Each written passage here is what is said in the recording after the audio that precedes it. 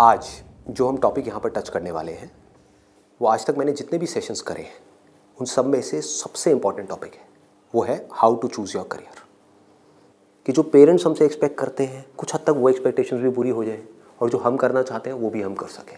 और आगे financially grow करने की जो पॉसिबिलिटीज़ हैं, वो इनफाइनाइट हो। इससे पहले कि मैं आप लोगों को बताऊँ कि ये चीज़ कैसे होगी, या हमको क्या करना है इसके लिए, मैं आप लोगों से जानना चाहूँगा आप लोग अपना करियर कैसे चूज़ करते हैं? सर, हम करियर चूज़ करते हैं जो हमारे पेरेंट्स आपस में सोचते हैं, जो बनना चाहते हैं वो वो सोचते हैं कि इसमें हमारा हमारा चिल्ड्रन फाइनेंशियली सही सक्सेसफुल हो सकता है, और हो सकता है वो हमारे दिमाग में पहले से बचपन से सेट कर देते हैं कि आपको ये बनना है बनना है, और हम छोटे होते हैं तो हम सोचते हैं कि यही हमारे लिए अच्छा ऑप्शन होगा, इसमें सक्सेसफुल हो सकते हैं। फिर वो बच्चे वही करने लग जाते हैं, और फिर ये 90 परसेंट बच्चे इससे चुनते हैं। मोस्टली क्या होता है कि फ्रेंड सर्कल के दबाव में आके लोग भेड़ चाल में आके कर लेते हैं। फ्रेंड ये करना तो हम भी ये करते हैं। सर बेसिकली जो होता है वो पेरेंट्स हमारे बोलते हैं कि दो साल पहले उसने वो करा था आज वो सक्सेस है। वो जो है तेरे बड़े भैया जो है वो आज यूएस में बैठे हैं ये जॉब कर रहे हैं। तो बेसिकली ये कहते हैं कि तू भी ये कर ले तू भी उसकी तरह स्टैंड हो जा। कोई इंटरेस्ट के बारे में बात नहीं करता कि हमारा इंटरेस्ट किसमें है किसमें नहीं है। सर वो पेरेंट्स जब हमसे पूछते हैं कि आप ये नहीं करना वो नहीं करना तो बताओ क्या करना है? तो सर बार कई बार ये भी होता है कि हमारे पास ये जवाब नहीं होता हम क्या करें? हमें यही नहीं पता होता।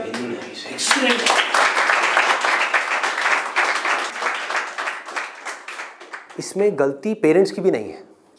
जैसे मैं आपको बोलता हूँ कॉमर्स कुछ लिमिटेड ऑप्शंस माइंड में आते हैं। क्या आते हैं?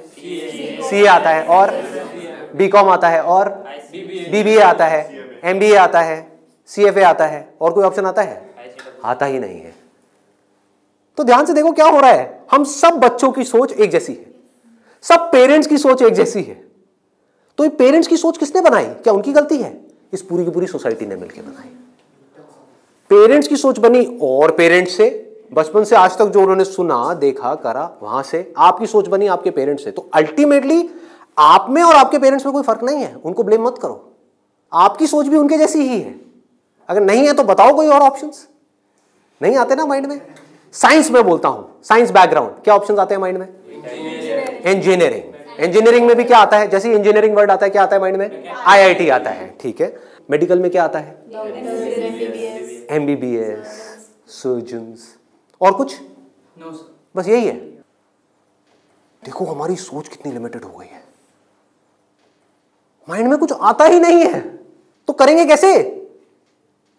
आपके माइंड में कुछ आएगा, तभी तो वो चीज़ होगी। अगर माइंड में हिमालय नाम का पहाड़ होगा, तभी तो उस पर चढ़ोगे। माइंड में हिमालय है ही नहीं तो कैसे चढ़ोगे? वहाँ तक जाना तो बहुत दूर की बात है। क्या करोगे? तो क्या होगा आपके साथ में? वही जो उन सब लोगों के साथ में हो रहा है, जिनकी सोच ऐसी है। अपने आसपास में देख लो, क्या हो रहा है उन लोगों के साथ में। अगर हम चाहते हैं हमारे साथ में कुछ अलग हो तो हमें क्या करना पड़ेगा? अपनी सोच को तोड़ना पड़ेगा। सबसे पहले समझेंगे कि एग्जैक्टली exactly हो क्या रहा है, फिर ये देखेंगे कि हम क्या कर सकते हैं और क्या करना है। इसको आप पीछे सर्कुलेट कर दीजिए।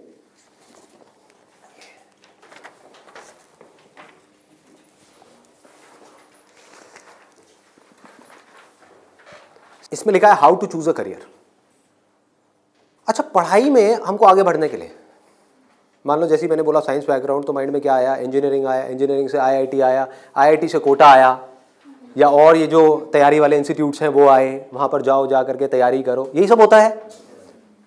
तो अब अगर आपको इस रास्ते पे सक्सेसफुल होना है कि मतलब आपको आईआईटी में पहुँचना है आईआईएम्स में पहुँचना है मेडिकल में टॉप कॉलेज में पहुँचना है तो क्या चाहिए? हार्डवर्क से काम हो जाएगा?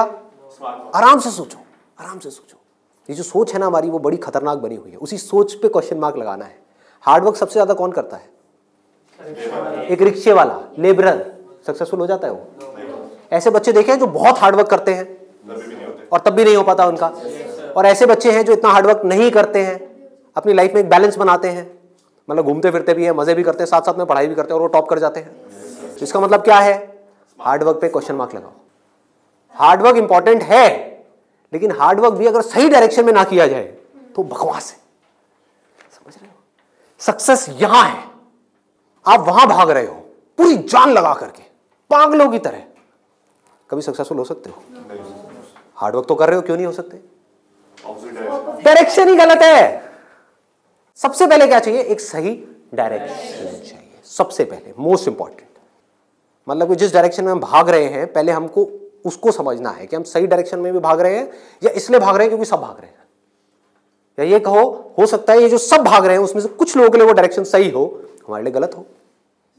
समझ पा रहे हो? पता कैसे चलेगा कि कैसे पता लगेगा? एक्सेलेंट देखो क्या है? सिर्फ़ दो पैरामीटर्स हैं जिसके ऊपर हमको दिमाग लगाना है। एक है कंपटीशन एक है कंसंट्रेशन पावर जहाँ पर भी कंपटीशन ज़्यादा है मतलब क्या है? कि वहाँ पर लाखों बच्चे ट्राई कर रहे हैं। होना कितनों का है? एक परसेंट, दो परसेंट, तीन परसेंट। रियलिटी है? मैं कुछ भी हाइपोथेटिकल बात नहीं करूँगा। क्या ये जो लाखों बच्चे ट्राई करते हैं, कोई भी ये सोच करके ट्राई करता है? लाखों रुपए जा करके कोचिंग इंस्टीट्यूट में स्पेंड करता है कि मेरा नहीं होगा? देखो कितना मज़ेदार है। मतलब लाखों को यह लग रहा है कि हमारा हो जाएगा। तो अब सबसे पहला यहाँ पर जो क्वेश्चन पूछना है, जो ना अभी पेरेंट्स पूछ रहे हैं, ना बच्चे खुद पूछ रहे हैं, वो अपने आप से पूछना है। वो ये कि मेरी कॉन्सेंट्रेशन पावर्स कैसी है? सिंपल है ना? इसमें कोई कॉम्प्लिकेटेड है? कि अगर आपको इन कॉम्पिटेटिव एग्ज़ाम्स में कॉम्पीट करना है, दिन में 10-10 घंटे पढ़ना है 15-15 घंटे पढ़ना है, उससे भी काम नहीं होने वाला, क्योंकि बहुत लोग पढ़ते हैं, फिर भी नहीं कर पाते। तो इसका मतलब क्या है? आपको अपने आप से सच बोलना होगा। अब ये बड़ा टेढ़ा काम है क्योंकि दुनिया में हमारी आदत क्या पड़ी हुई है? झूठ बोलने की।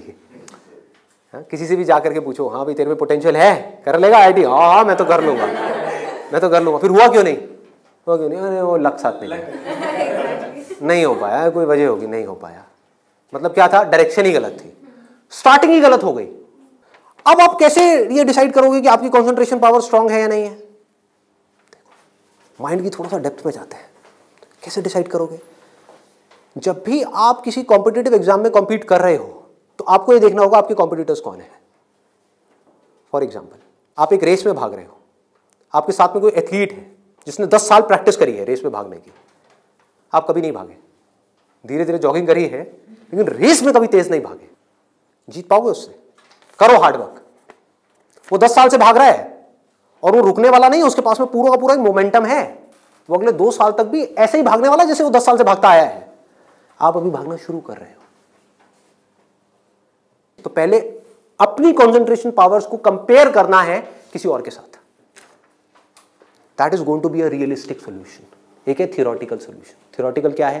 माँ बाप कह रहे हैं बच्चों को, भागो। बच्चे भी अंदर से कह रहे हैं, भागो। यही हो रहा है। करेंगे करेंगे करेंगे करेंगे करेंगे। चार्ज डब हुए पड़े पागलों की तरह। इनको ये नहीं समझ पा रहा कि मेरे अंदर वो स्ट्रेंथ है भी या नहीं है। बहुत बारीक बात है अगर इसको हमको समझ आए तो। एक बॉक्सिंग रिंग में आप हो। ठीक है? तो सामने देखो कि जो बॉक्सर है वो है कौन जिससे आप लड़ने के लिए जा रहे हो? इसी को तो कंपटीशन बोलते हैं। तो अगर उस कंपटीशन को आपको जीतना है, और जीतना ही है, हारना किसको है? किसको अपने माँ बाप के पैसे डुबोने हैं? किसको अपनी लाइफ खराब करनी है? जीतना ही है। तो जीतने का क्या तरीका है? पहले अपने कॉम्पिटिटर्स की स्ट्रेंथ को समझ जाओ। समझ लो कि आप कॉम्पीट कर किसके साथ में रहे हो। वो कैसे समझोगे?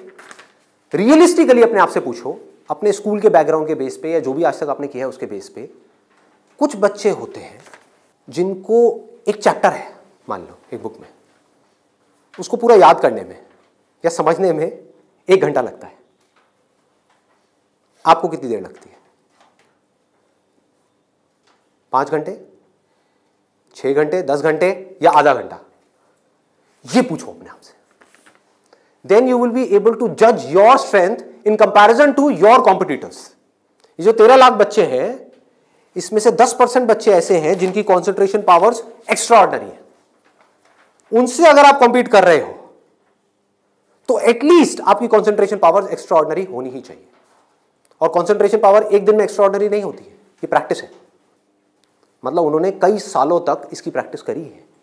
तब जाके उनकी कॉन्सेंट्रेशन पावर एक लेवल तक पहुँची है। तो आप अपने आप से ईमानदारी से सवाल पूछो तो सही, कि आपकी कॉन्सेंट्रेशन पावर है कैसी? अगर एक्स्ट्रा है और आप ऐसे कंपटीशन में जा रहे हो जहाँ पे कंपटीशन बहुत हाई है तो आपके सक्सेसफुल होने के क्या चांसेस हैं? क्या हंड्रेड परसेंट है? पूछो अपने आप से।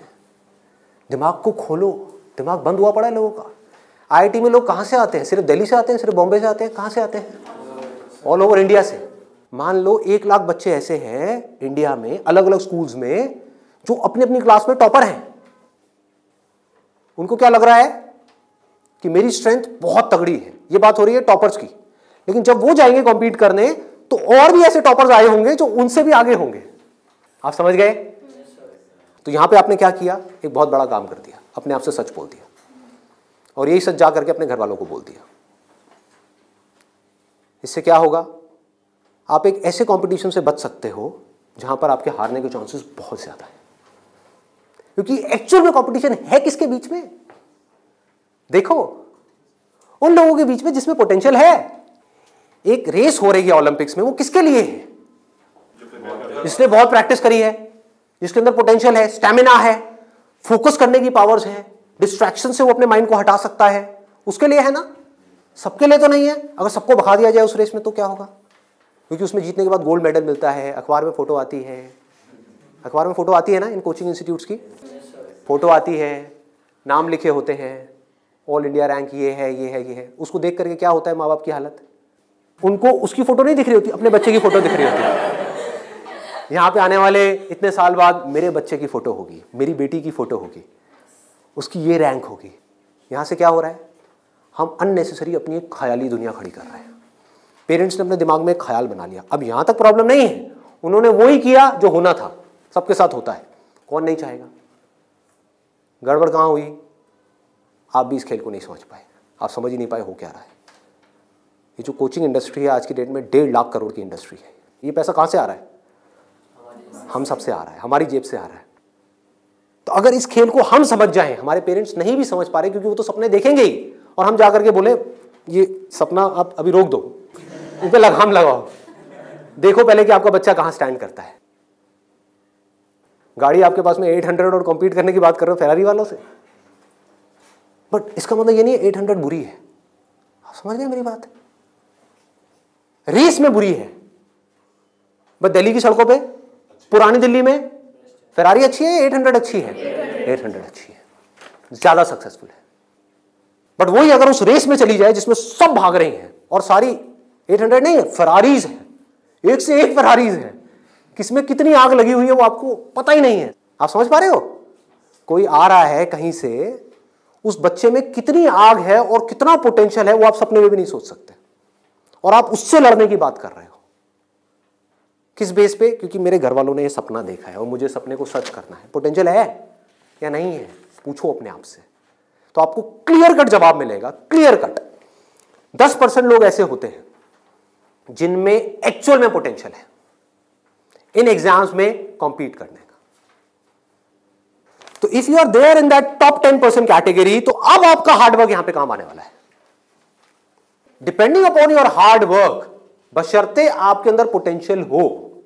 फॉर एग्ज़ाम्पल फेरारीज की रेस हो रही है, उसमें आपने पूरी जान लगा दी। एक सेकंड के लिए भी डिस्ट्रैक्ट नहीं हुए। ठीक है? डिस्ट्रैक्ट होने में एक सेकंड लगता है।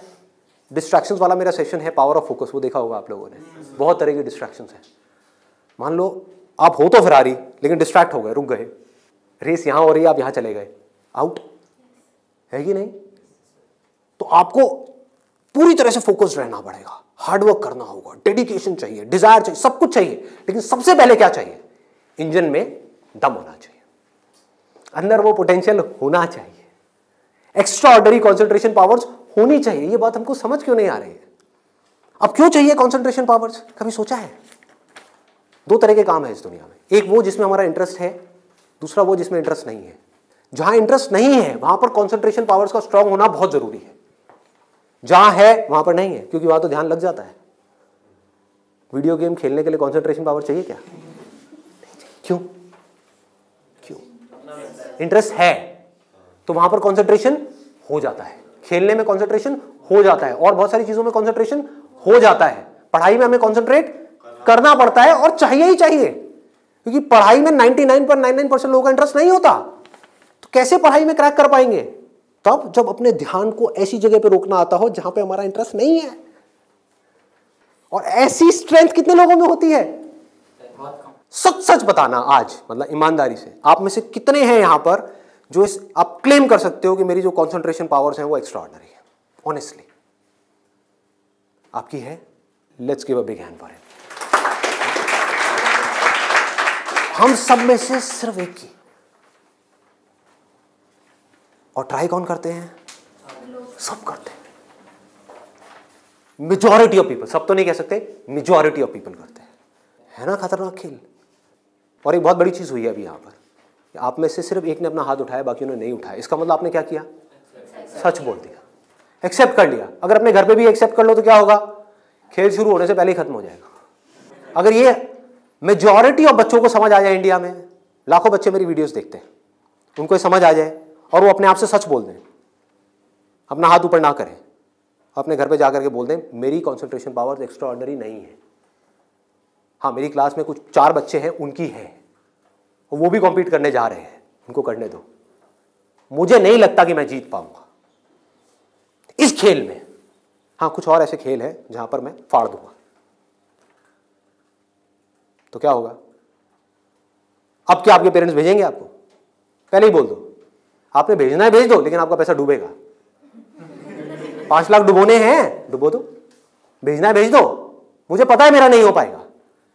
ये झूठ है, ये नेगेटिव थिंकिंग है या ये रियलिस्टिक थिंकिंग है। समझो। Realistic thinking that is the biggest thing जो हमको समझना है। पॉजिटिव थिंकिंग का लोग मतलब क्या निकालते हैं? कि मेरे पास में मारुति 800 है और मैं ये एक्सेप्ट ही ना करूँ कि मेरे पास में मारुति 800 है। मैं अपना ख्याल बना लूँ कि मेरे पास में फेरारी है और जाकर के कॉम्पीट करूँ ऐसे लोगों के साथ में जिनके पास में एक्चुअल में फेरारी है। फ़र्क पता लग रहा है? और ऊपर से अपने आप को पॉजिटिवली अंदर से मोटिवेट करता रहा। हूँ घर वाले भी मुझे रोज फ़ोन करके, नहीं बेटा, तू कर सकता है, कर सकता है, कर सक... रियलिटी को देखो ही ना। अपनी स्ट्रेंथ को देखो ही ना, अपनी आँखें बंद कर लो। सच बोलो अपने आप से। जीत सकते हो तो लड़ो।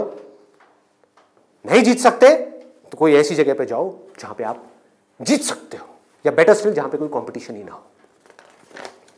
आगे बढ़ते हैं। दूसरा क्या है? ये तो हो गई पहली कैटेगरी एक्स्ट्रा जो यहाँ पर अभी कोई भी नहीं मिला, सिर्फ़ एक मिला है। दूसरा है ऑर्डनरी 90 परसेंट लोग एक क्लास में 90 परसेंट स्टूडेंट्स इंडिया में वो इस सेगमेंट में आते हैं। अब मज़े की बात क्या है? ये जो कोचिंग इंस्टीट्यूट है, इनकी दुकानें कैसे बच्चों से चल रही है? ऐसे बच्चों से। कुछ रोल मॉडल्स दिखा करके, देखो हमारे इंस्टीट्यूट से ये ये है, उन्होंने ये कर दिया।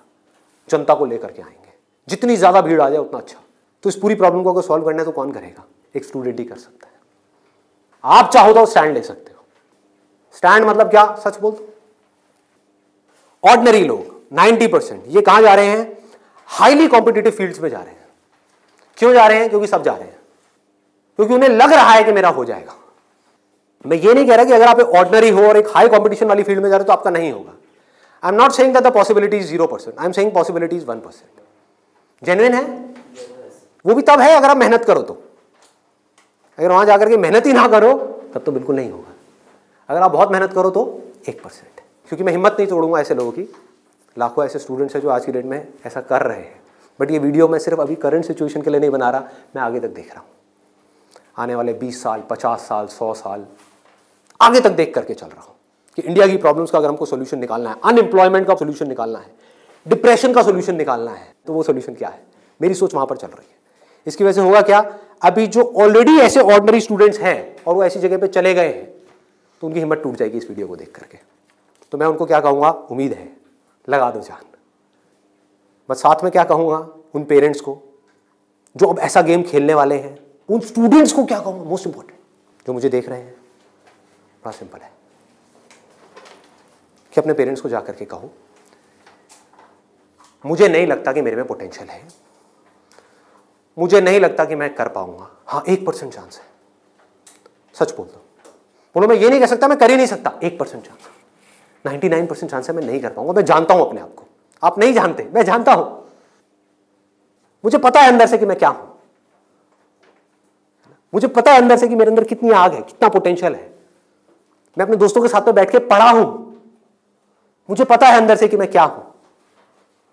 तो आप क्या कहोगे? सच बोलोगे अपने घर वालों को जाके कि देखो, अगर आप मुझे दो साल तक की कोचिंग कराओगे, उसमें मान लो लाख रुपए साल की फ़ीस हो गई प्लस रहना, खाना, पीना whatever it is total मान लो दो साल में कितना खर्चा आया? चार, पाँच lakh.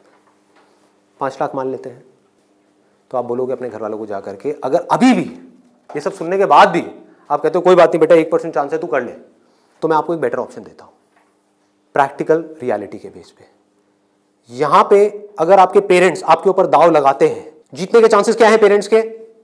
One is to hundred इससे बेटर ऑप्शन क्या है? गोवा जाओ। Seriously I am serious about it मज़ाक नहीं कर रहा। गोवा जाओ वहाँ पे कैसीनोज हैं। वहाँ पे अगर आप पाँच लाख रुपए लगाते हो एक रूले करके गेम है। पता है आप लोगों को? सारे जुआरी हैं क्या यहाँ पे? रूले गेम है जिसमें एक बॉल घुमाते हैं। छत्तीस नंबर होते हैं और एक ज़ीरो होता है। वहाँ पे अगर आप एक नंबर पे पैसा लगाते हो और वो नंबर आ जाता है तो एक रुपए आपका बन जाता है छत्तीस रुपए। जीतने की प्रोबेबिलिटी क्या है? One is to thirty seven. यहाँ पर क्या है? One is to hundred. वहाँ पर क्या है? One is to thirty seven. मतलब इससे डबल से भी ज़्यादा है। तो अपने पेरेंट्स को सजेशन दो कि जुआ खेलना ही है तो ये बेटर ऑप्शन है। खेलते हैं ना। मेरी ज़िंदगी क्यों दाव पे लगा रहे हो? मुझे तो बचने दो। अरे खेलना है तो मिलके खेलते हैं। जाओ अपने पेरेंट्स के साथ में। उनको गोवा लेकर के जाओ, अपनी पार्टी करना। और एक दिन जाना, ले आकर के पाँच लाख रुपए एक टेबल पे रख देना। अगर वो नंबर आ गया तो। कोई भी नंबर चूज़ कर लो। आपके पेरेंट्स चाहते हैं आप नंबर वन पे आओ। ऑल ओवर इंडिया में आपकी नंबर वन रैंक आए। तो एक नंबर पे पैसा लगाओ जुए में। वहाँ भी एक नंबर पे पैसा लगा रहे हैं। यहाँ भी एक नंबर पे पैसा लगाओ। अगर वो एक नंबर आ गया तो कितना मिलेगा पाँच लाख का? एक करोड़ अस्सी लाख। एक करोड़ अस्सी लाख। उसको उठा करके बैंक में एफडी कराओ। कितना इंटरेस्ट आएगा? बारह परसेंट। तो अब टाइम गया। आप मान लो टैक्स वैक्स काट के सात आठ परसेंट भी आ गया आपके हाथ में महीने का लाख रुपए। साल का बारह लाख रुपए। सोचो। क्या ये प्रैक्टिकल है या नहीं है? जो बात मैंने बोली है। थियोरटिकल है प्रैक्टिकल है? वहाँ भी जुआ है यहाँ भी जुआ है। आप भी बोल रहे हो हाँ शायद मेरा हो जाएगा। पेरेंट्स भी कह रहे हैं हाँ शायद इसका हो जाएगा। प्रोबेबिलिटी हमारे सामने है। आपके होने की जो प्रोबेबिलिटी है, वो हमारे सामने है। हाँ अगर आप एक्स्ट्रॉर्डनरी में हो तो बात अलग है। मैं उसकी बात नहीं कर रहा।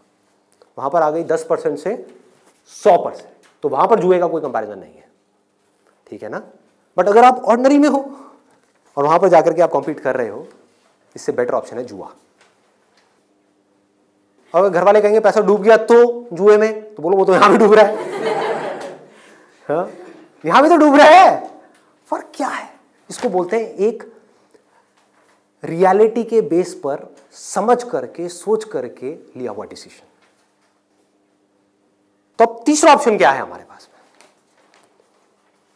कोई ऐसा करियर चूज़ करो, देखो कितना मज़ेदार है। जहाँ पे आपको कंसंट्रेशन पावर की ज़रूरत ही ना हो। Not required if you love singing concentration power चाहिए क्या? नहीं चाहिए। हो जाएगा। किसी खेलने में इंटरेस्ट है तो वहाँ पे कंसंट्रेशन पावर बहुत स्ट्रांग चाहिए क्या? हो जाएगा। घंटों तक हो जाएगा। एक है कॉन्सेंट्रेट करना पड़ता है, एक है कॉन्सेंट्रेशन हो जाता है। दोनों में बहुत फ़र्क है। इंटरेस्टिंग है तो कॉन्सेंट्रेशन हो जाता है। इंटरेस्टिंग नहीं है बोरिंग है तो कॉन्सेंट्रेट करना पड़ता है। फिर चाहे वो पढ़ाई हो, चाहे जॉब हो। ये छोटी सी सोच चाहिए, समझ चाहिए। अब यहाँ पे क्या चलेगा? इन फील्ड्स में कंपटीशन क्या है? आर्ट हो गया स्पोर्ट्स हो गया, कोई भी क्रिएटिव फ़ील्ड हो गई। वहाँ पर कंपटीशन क्या है? बहुत ज़्यादा है उन लोगों के लिए जो मीडिया ऑकर है। लेकिन अगर आपके अंदर टैलेंट है, कोई कंपटीशन नहीं है। क्योंकि दोनों को आपस में कंपैरिजन किया ही नहीं जा सकता। कोई नंबर्स नहीं है ना। ध्यान से समझो। जैसे आप किसी एग्ज़ाम में जाते हो तो एक कंपेयर किया जा सकता है आपको किसी से। क्योंकि आपके आए 90 परसेंट किसी और के आए 99 परसेंट तो कंपैरिजन है। टैलेंट में क्या है? आपके अंदर एक तरह का टैलेंट है, किसी और के अंदर और कोई तरह का टैलेंट है। आप जो कर सकते हो वो नहीं कर सकता वो जो कर सकता है वो नहीं कर सकता। एक सिंगर है उसकी अलग तरह की आवाज़ है कोई और सिंगर है उसकी अलग तरह की आवाज़ है। अब यहाँ पे भी एक छोटा सा प्रॉब्लम है। प्रॉब्लम क्या है यहाँ पर? प्रैक्टिकली आप लोग बताओ कि प्रॉब्लम क्या है यहाँ पर। इस तरह का कुछ करने में। स्कोप क्या होगा क्या नहीं होगा? देखो अगर टैलेंट हो तो स्कोप होगा या नहीं होगा? होगा। बट ऑब्वियस टैलेंट कैसे डेवलप होता है? प्रैक्टिस और ये भी तभी काम आएगा जब इंटरेस्ट होगा। समझ गए ना? जितना ज़्यादा इंटरेस्ट होगा, उतना ही ज़्यादा पैशन होगा। जितना ज़्यादा पैशन होगा, उतना ही ज़्यादा पैशन के साथ प्रैक्टिस करोगे। जितना प्रैक्टिस करते चले जाओगे, उतना ही टैलेंट बढ़ता चला जाएगा। जितना आपका टैलेंट बढ़ता चला जाएगा, आपके लिए कॉम्पिटिशन उतना ही कम होता चला जाएगा। क्लियर है ना? बट आप इन सारे रूट से भागने के लिए वहाँ पर जा रहे हो तो भगवान ही मालिक है आपका। समझ गए? पढ़ाई के टॉर्चर से बचने के लिए ज़बरदस्ती कोई ऐसा काम नहीं है जो आपको बहुत इंटरेस्टिंग लगता है। फिर भी आप कर लो। आपको हाँ ये सही है। तो आपका वही हाल होगा जो वहाँ पे कंपटीशन में बाकी लोगों का हो रहा है। मतलब आपको जेन्युइनली चूज़ करना होगा कोई ऐसा interest which you are extremely passionate about extremely passionate about ठीक है? इससे भी एक स्टेप आगे बढ़ते हैं। यहाँ पे प्रॉब्लम एक है, बहुत सिंपल सी, जो मेरे पास में कमेंट्स आते हैं कि हमें पता ही नहीं है कि ऐसा इंटरेस्ट क्या है। I don't know what that interest is मेरे लिए ऐसा कोई इंटरेस्ट नहीं है, कोई ऐसा टैलेंट नहीं है, कोई ऐसी स्किल नहीं है जो मैं कह सकूँ कि हाँ इसके बेस पे मैं अपनी पूरी लाइफ स्टेक पे लगा सकता हूँ। उनके लिए क्या सोल्यूशन है? आपके घर वाले चाहते हैं, आपको डिग्री मिले। आप चाहते हो कुछ अपना करना। फाइनेंशियली भी सक्सेसफुल हो जाओ। तो उसका ऑप्शन क्या है? ये रहा। यानी कि आप बहुत ज़्यादा टफ एग्ज़ाम्स को क्रैक नहीं कर सकते। बहुत ज़्यादा टफ पढ़ाई नहीं कर सकते। लेकिन आप पढ़ सकते हो। तो आप एक ऐसी फ़ील्ड चूज़ करते हो जहाँ पे कंपटीशन लो है जहाँ पे कंपटीशन कम है। और अगर वहाँ पर आप स्मार्ट वर्क करने लग जाओ तो आपके जीतने के जो चांसेस हैं सक्सेसफुल होने के चांसेस हैं that start from ten percent and goes up to hundred percent as good as उन लोगों के कंपैरिजन में जो यहाँ पर टॉप पर है। और यहाँ पर कोई लिमिट नहीं है कि हम क्या कर सकते हैं। स्मार्ट वर्क को मैंने नीचे डिफाइन भी किया हुआ है कि what does smart work mean it means developing your understanding that is smart work जो काम आप कर रहे हो उसकी समझ अगर आपको है कि आप क्या कर रहे हो क्यों कर रहे हो कैसे कर रहे हो तो आप स्मार्ट वर्क कर रहे हो। समझ नहीं है बस कर रहे हो तो आप हार्ड वर्क कर रहे हो। अब इसमें मैं आपको एक प्रैक्टिकल एग्ज़ाम्पल देने वाला हूँ। एक सिंपल सा करियर मैं आपको बता रहा हूँ।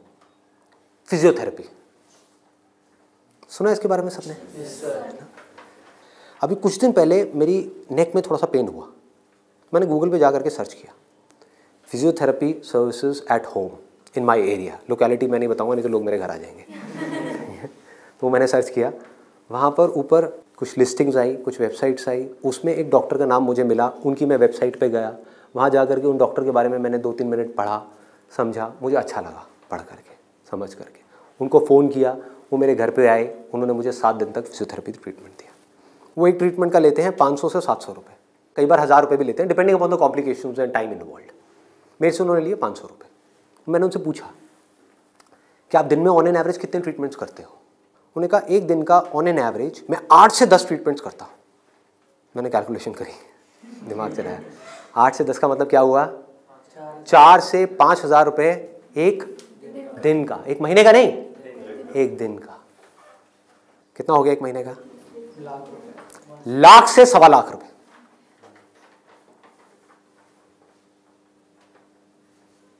अभी उनको चार साल हुए अपनी फिजियोथेरेपी करे हुए। ये नहीं है कि चालीस साल हो गए चार साल। समझ रहे हो? क्या किया उन्होंने? कैसे किया उन्होंने? वो सब आ जाता है स्मार्ट वर्क के अंदर। उन्होंने हार्ड वर्क नहीं किया स्मार्ट वर्क किया। ज़्यादातर लोग क्या करते हैं, एक हाईली कॉम्पिटेटिव फ़ील्ड के अंदर जाकर के कॉम्पीट करते हैं, वहाँ होता है नहीं। जा करके किसी लोकल कॉलेज में फंस जाते हैं, वहाँ से निकल करके जॉब के लिए धक्के खाते हैं। इसके आगे सोच बढ़ ही नहीं पाती है। जॉब नहीं मिल रही तो दुखी हो जाते हैं। उसके बाद में जब बहुत टाइम तक तो जॉब नहीं मिल रही होती तो जो भी जॉब होती है, जैसी भी जॉब होती है, कर लेते हैं। होता है प्रैक्टिकली ऐसा है? नहीं होता है। पढ़ाई करिए किसी फ़ील्ड में जॉब कर रहे हैं किसी और फ़ील्ड में। मतलब जो वो पढ़ाई करी, वो बेकार हो गई। स्मार्ट वर्क किसे कहते हैं? आप एक फिजियोथेरेपी कॉलेज में गए।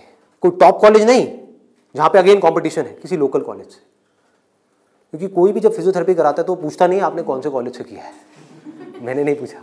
कोई नहीं पूछता। तो किसी भी कॉलेज से अच्छे से जा करके आप स्टडी करके आ गए डिग्री ले करके आ गए। आप कहीं भी जाओगे, कभी भी आपको जॉब तो मिल ही जाएगी, जो सुन करके आपके घर वाले कन्विंस हो जाएँगे। कहेंगे हाँ ठीक है, एक बैकअप प्लान तो है। तो एक ऐसा रास्ता, जहाँ पर वर्स्ट के सिनेरियो में आपको जॉब भी मिल जाए, लेकिन बेस्ट के सिनेरियो की कोई अपर लिमिट ना हो। अब बात आती है, कैसे करोगे आप इस चीज़ को?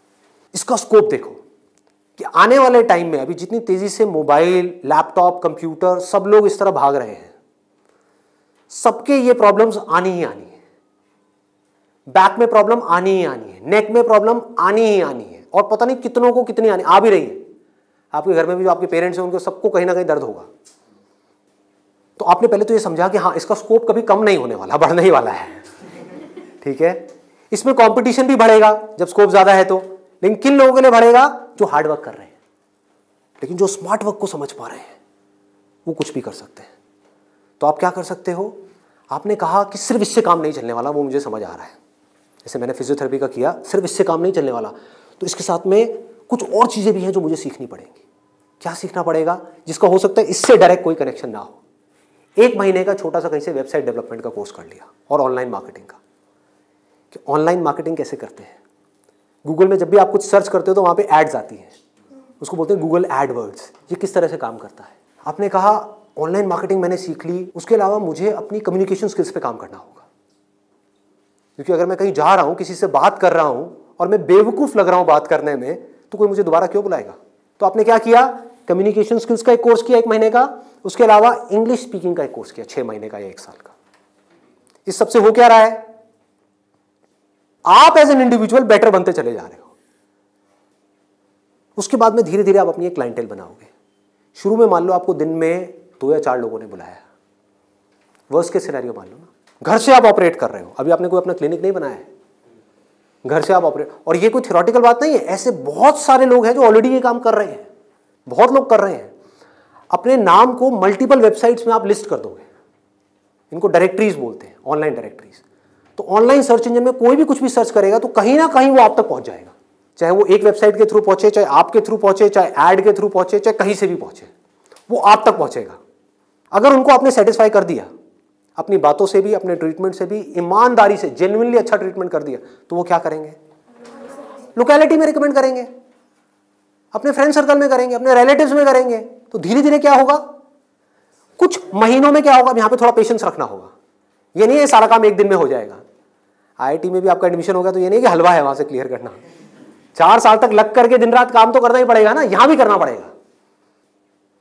तो आप सीखते जा रहे हो, समझते जा रहे हो धीरे धीरे आपको कुछ ऐसी टेक्नोलॉजीज़ के बारे में पता लगेगा, कुछ ऐसे इक्विपमेंट्स के बारे में पता लगेगा, इसमें हज़ारों तरह के इक्विपमेंट्स हैं। हज़ारों तरह की चीज़ें हैं अलग अलग तरह के ट्रीटमेंट्स के लिए, इतनी बड़ी फ़ील्ड है ये। आप आने वाले टाइम में फिजियोथेरेपी का एक ऐसा क्लिनिक बना सकते हो, अपनी सिटी में, या कहीं पर भी जो अपने आप में स्टेट ऑफ़ द आर्ट हो। मतलब ऐसा जो पूरे इंडिया में ना हो। और क्लिनिक आप ऐसे करते करते, धीरे धीरे, अभी एक दिन में या दो दिन में नहीं होगा, मान लो पाँच साल में होगा, दस साल में होगा, बीस साल में होगा। क्लिनिक कितना बड़ा हो सकता है? कितने क्लिनिक्स हो सकते हैं? क्या क्या हो सकता है? कोई लिमिट नहीं। अगर कुछ लोग जो मेरी इन बातों को समझ पाए, जो बातें मैं कर रहा हूँ, और कुछ ऐसी डायरेक्शन में जा पाए सेंसिबल तरीके से smartly not by doing lot of hard work but by doing smart work तेज़ी से आगे बढ़ पाए। तो आने वाले टाइम में यही वो लोग होंगे जो आने वाले टाइम में लोगों के लिए जॉब अपॉर्चुनिटीज़ क्रिएट करेंगे। अंदर से एक ये फीलिंग होनी चाहिए कि मुझे लोगों की प्रॉब्लम्स को सॉल्व करना है। अगर मैं कर पाया तो मेरी प्रॉब्लम्स तो सारी अपने आप सॉल्व हो जाएँगी। वो लोग करेंगे ना। अगर आपने किसी के दर्द का इलाज कर दिया तो वो आदमी आपको पता है क्या कहेगा? बताओ आपको क्या चाहिए। वो लोग आपके पीछे आएँगे। आपने उनको बोल दिया ना, नहीं, मैं आज आपका ट्रीटमेंट नहीं कर रहा। नहीं नहीं डॉक्टर साहब, आप बताओ, कब मतलब कि अपने आप को अंदर से स्ट्रांग बना लो तो दुनिया भागती हुई आपके पास आएगी। ये एक रास्ता है। एक है अंदर से तो स्ट्रांग बनो मत, और दुनिया के पीछे भागते रहो। भैया, मेरा कुछ हो सकता है, भैया, मेरा कुछ हो सकता है, भैया, कहीं लगवा दो जॉब लगवा दो, भैया ये, भैया वो भैया वो। अरे, काहे का भैया? समझे? ये एटीट्यूड चाहिए। ढंके की चोट पे आप काम करो। मैंने लाइफ में जो भी काम किया है, बिल्कुल एटीट्यूड के साथ किया है। ये मैं कर रहा हूँ, आपको चाहिए तो लो, नहीं चाहिए तो आगे बढ़ो। Does not make any difference to me क्योंकि मैं जो कर रहा हूँ आई बिलीव इन इट मैं कोई भीख नहीं मांग रहा हूँ आपसे। और बहुत सारे लोग होते थे जिनको मैं मना कर देता था जो मैं नहीं कर रहा तुम्हारा शूट और वो जा करके चार लोगों को पकड़ के ले आते थे, ये बंदा जेनविन है। इसमें दम है ना बोलने का। वो दम कहाँ से आता है? सोच से आता है। सोच को खोलो। बंद करके इसमें मत रहो। फाड़ दो। और फिर भी रहना है तो आपकी चॉइस है